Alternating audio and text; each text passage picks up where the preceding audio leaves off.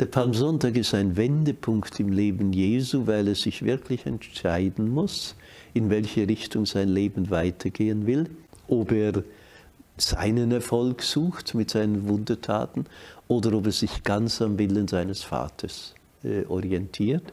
Und ihm war ganz bewusst, dass der Gang nach Jerusalem zu einem sehr gefährlichen Gang werden wird.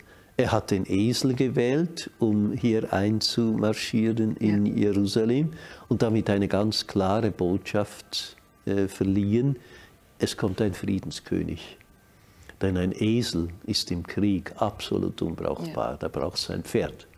Wenn er aber mit einem Esel kommt, zudem auch dem Reittier der armen Leute, ja.